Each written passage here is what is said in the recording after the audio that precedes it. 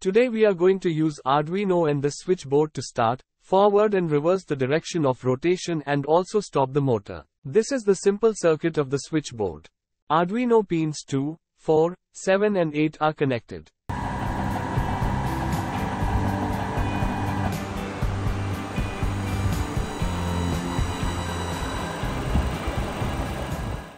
This is the overall setup, and we are using the mains 3-phase input which is given to 3-phase auto transformer.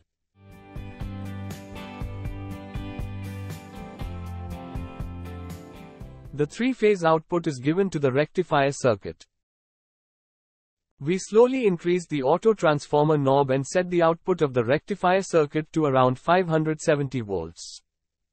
Press the top switch to start the motor.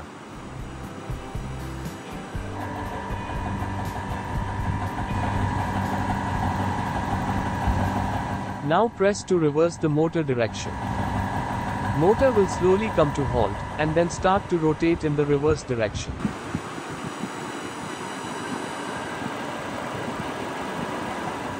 Finally we press the fourth button to stop the motor.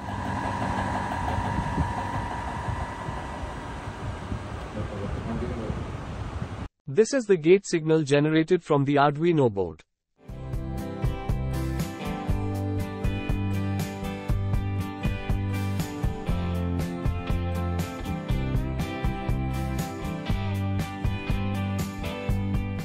To place your order, follow the link in description.